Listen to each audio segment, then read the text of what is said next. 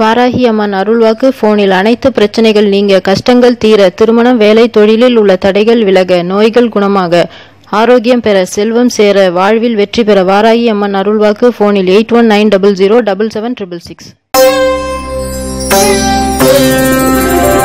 Varahi கோவில் கட்ட உதவுங்கள் உங்கள் வம்சம் தழைக்கும்.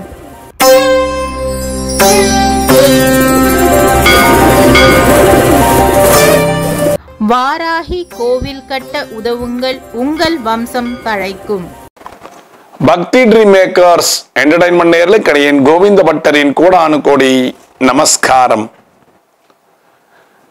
இவ்வாறு நின்று சமைத்து பெருமாளுடைய கடாட்சத்தை வாங்கிக் கொள்ளுங்கள். எப்படி வாங்கிக்கிறது? அதை தான் இப்ப நம்ம பார்க்க போறோம். கிழக்கே கிழக்கு முகமாக பார்த்து நின்று சமையுங்கள். எல்லார் வீட்லயுமே மேடை கிழக்கு முகமா தான் இருக்கும். நீங்க என்ன அதிசயமா சொல்றீங்கன்னு கேக்குறீங்களா? அதுல ஒரு சாஸ்திர சம்பிரதாயம் இருக்குல்ல? கிழக்கில் நின்று சமைக்கிறீங்களா? உங்க இடது கை பக்கம். உங்களுடைய இடது கை பக்கம் அடுப்புல இருந்து ரெண்டு விறக்கடை தாண்டி. அடுப்பு பக்கத்துல வைக்கக்கூடாது கொஞ்சம் தாண்டி. உங்க மேடை அழகா இருக்கா? அதுல ஒரு மணப்பலகை போட்டுக்கோங்க சின்னதா. ஒரு மணப்பலகை போட்டு கோலம் போட்டுக்கோங்க. ஒரு மண் உண்டியல் வாங்கி வச்சுக்கோங்க. அந்த மண் உண்டியல்ல மண் உண்டியல் வாங்கி வச்சுக்கோங்க. அதாவது ஓப்பனே இருக்காது. மண் உண்டியல் அப்படியே க்ளோசிங்கா இருக்கும். அதுல ஒரு ஓட்டை இருக்கும். நீங்கள் செய்யக்கூடிய வேலை என்னன்னா தினமும் பெருமாளுக்கு ஐந்து ரூபாய் அந்த உண்டியல்ல போட்டுக்கிட்டே வாங்க. தினமும். ஐந்து ரூபாய் சேருதா? அஞ்சு ரூபாங்கிறது பெரிய விஷயமே இல்லைங்க. உங்க செலவுல ஒண்ணு கட் பண்ணிக்கோங்க. நல்லது தானே ஐந்து ரூபாய் அந்த உண்டியலில் போட்டே வரும். உண்டியல் வைக்கும் பொழுது கோலம் போடணும். அந்த உண்டியலை எக்காரணத்தை கொண்டு டிஸ்டர்ப் பண்ணவே கூடாது. உங்களுடைய காசு விடுற சவுண்டு டொக் அப்படி ஒரு சவுண்டு தான் கேட்கணும். அந்த உண்டியலை கைகளால் எடுத்து நகர்த்தி வைக்கிறது. மேடை கிளீன் பண்ணும்போது நகர்த்தி வைக்கிறது. அது அப்படியே இருக்கட்டும். அப்படியே மேடை கிளீன் பண்ணிக்கோங்க. துணியை தானே வச்சு கிளீன் பண்ணுறீங்க அப்படியே கிளீன் பண்ணிக்கோங்க. தினமும் சமைக்கும் பொழுது இப்போ என்ன பண்ணும் சமைக்கும் பொழுது அந்த உண்டியல்ல காசு போடும்போது குளிச்சுட்டு தானே வரணும்? குளிக்காம சமையல் பண்ணீங்கன்னா தரித்திரம் வரும். அப்ப குளிச்சுட்டு வந்து சமைக்கணும். இல்ல இல்ல எங்க வீட்டுக்காரங்க ஆபீஸ் பரவாயில்ல சீக்கிரம் எந்திரிச்சு குளிங்க. மத்தியானம் ரெஸ்ட் எடுத்துக்கலாம். நீங்க ஆபீஸ் போறீங்கல்ல? ஏழு ஏழரைக்கெல்லாம் கேப் வந்துடும்ல கிளம்பணும்ல? சீக்கிரம் எழுந்துருங்க ஒன் ஹவர் பிஃபோர் எழுந்துருங்க சண்டே சண்டே தூங்கிக்கோங்க. எழுந்துருங்க குளிங்க தலை குளிக்கணுங்கிற அவசியம் எல்லாம் கிடையாது. டெய்லி தலை குத்திங்கிறதெல்லாம் கிடையாது. சும்மா கொஞ்சோண்டு தண்ணி எடுத்து ஒரு புரோக்ஷணம். சர்வம் ஸ்ரீ கிருஷ்ணார்ப்பணம் அப்படின்னு புரோக்ஷணம் பண்ணிட்டு வாங்க. சமைக்கிறதுக்கு முன்னாடி ஒரு ஐந்து ரூபாய் அந்த உண்டியல்ல போட்டுட்டு சமையல் ஆரம்பிச்சிருங்க. சமையல் சார் எங்க வீட்டில் நான்வெஜ் சமைப்போம் சார். பரவாயில்ல. நான்வெஜ்ஜுக்கும் சம்பந்தமே கிடையாது. அதுக்கு தான் கேஸ்ல இருந்து ஒரு ஜான் ரெண்டு ஜான் தாண்டி வச்சிடணும். வச்சுட்டீங்களா? நான்வெஜ் சமைங்க ஒன்றும் பிரச்சனையே கிடையாது. நான் நான்வெஜ் பிரியர். எங்கள் வீட்டில் நான்வெஜ் சமைப்பாங்க. பரவாயில்ல அது தனி இது தனி. ஒரு மணப்பலகை போட்டு குட்டியாக கோலத்தை போட்டு உண்டியலை வச்சு அஞ்சு அஞ்சு ரூபாயா போடுங்க. இந்த அஞ்சஞ்சு ரூபாயா சேர்ந்த அஞ்சு ரூபாயை என்ன பண்ணலாம்? சொல்றேன். உங்களுக்கு பெருமாள் கடாட்சம் வேணும்ல. நீங்க பெருமாள் பக்தர். சனிக்கிழமை சனிக்கிழமை சேப்புல ஒரு நாமத்தை போட்டு கோவிந்தா பண்ணுவீங்க. ரைட்டுங்களா? ஒரு ஒரு சனிக்கிழமை உங்க வீட்டில் செய்வீங்க. நாங்க வந்து பட்டை போடுவோம். சிவனடியார்கள். ஆனா சனிக்கிழமை கோவிந்தா நாமத்தை சொல்லுவோம். பரவாயில்லைங்க. எல்லாருமே ஒண்ணுதாங்க. இப்ப என்ன சொல்றீங்க? சனிக்கிழமை கோவிந்தா கோவிந்தா கோவிந்தான்னு சொல்றீங்கல்ல. அஞ்சஞ்சு ரூபாயா சேருது இல்ல பணம்? டெய்லி போடுறீங்கல்ல.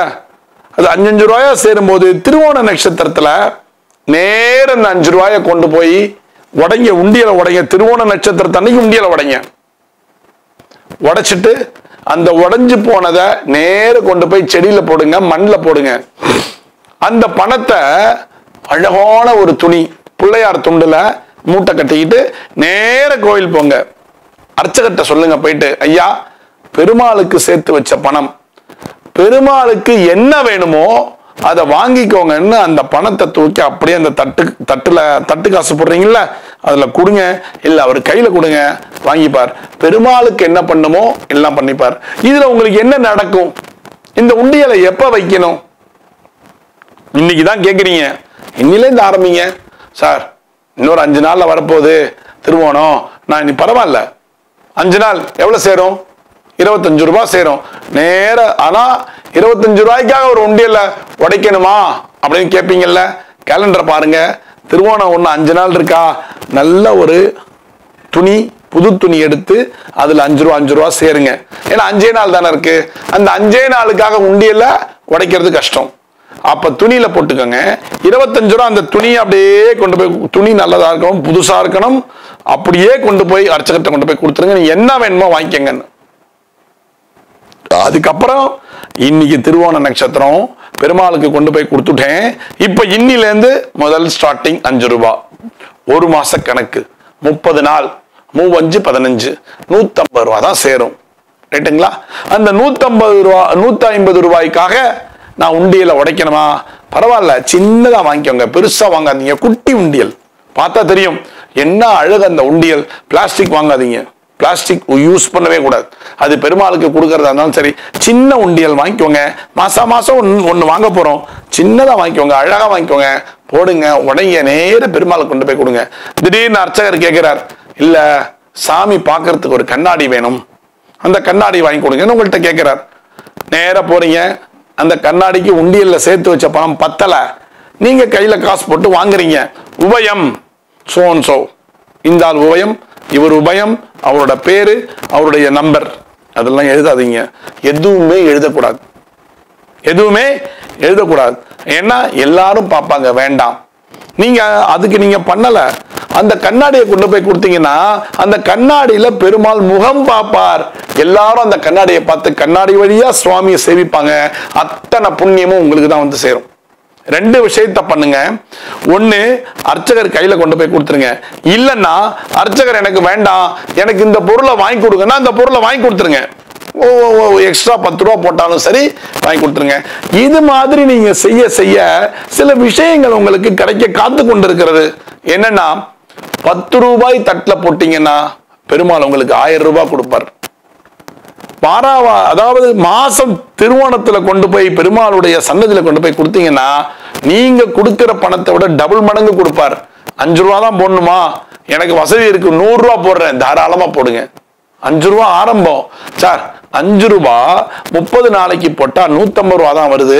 எனக்கு வேண்டாம். நூறு ரூபா போடுறேன். ரொம்ப நல்லதுங்க. அஞ்சு ரூபாங்கிறது ஆரம்பம்.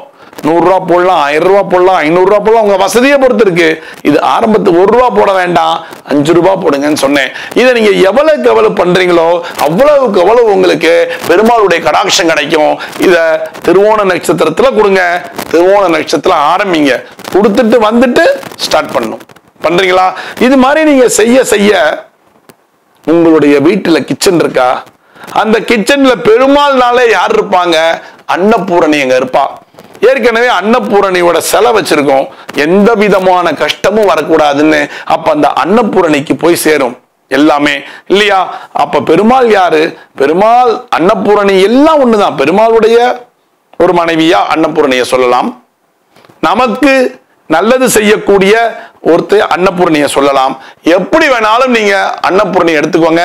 அன்னபூரணி எங்கெல்லாம் இருக்காலோ அங்கெல்லாம் எந்த விதமான கஷ்டமுமே வராது. அன்னபூரணி லக்ஷ்மியோட ஒரு மறு ரூபம் தானே தவிர எல்லாமே லக்ஷ்மியினுடைய மறுரூபம் தான் அதனால நீங்க எதை பத்தியும் கவலைப்படாதீங்க. பெருமாளுக்கு கொண்டு போய் சேர்க்கணும் இந்த பணத்தை அப்படின்னே சொல்லி பெருமாளுக்கு கொண்டு போய் சேருங்க. உங்க வீட்டுல பெருமாளுடைய கடாட்சம் என்றென்றும் நிலைத்திருக்குங்கிறது தான் நிதர்சனமான உண்மை.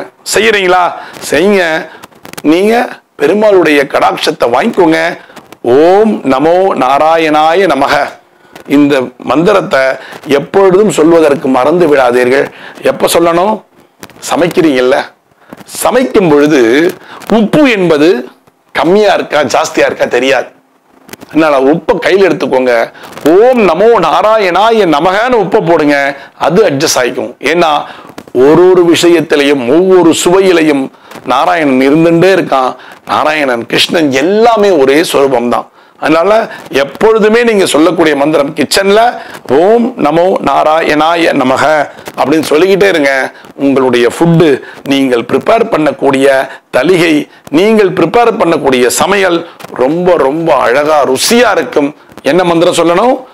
ஓம் நமோ நாராயணாய நமக ஓம் நமோ நாராயணாய நமக அப்படின்னு சொல்லுங்க.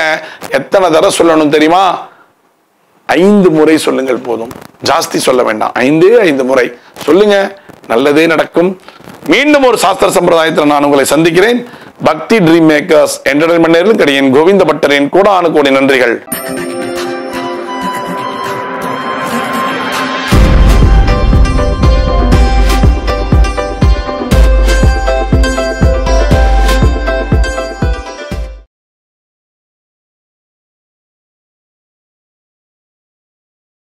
வாராகி அம்மன் அருள்வாக்கு போனில் அனைத்து பிரச்சனைகள் நீங்க கஷ்டங்கள் தீர திருமணம் வேலை தொழிலில் உள்ள தடைகள் விலக நோய்கள் குணமாக ஆரோக்கியம் பெற செல்வம் சேர வாழ்வில் வெற்றி பெற வாராகி அம்மன் அருள்வாக்கு போனில் eight one nine double zero double seven triple six